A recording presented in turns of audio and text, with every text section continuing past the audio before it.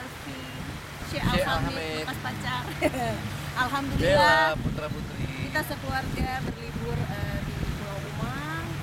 Sip deh pokoknya ya. kita bisa menikmati liburan ini liburan anak-anak sekolah dengan sempurna Amin.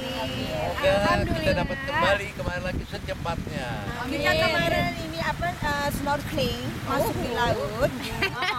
Saya dari kecil sampai sekarang baru yang namanya melihat pemandangan di laut. Dan terjadi di Pulau. Terjadi di Pulau Umang yang pertama Oke. Pulau Umang,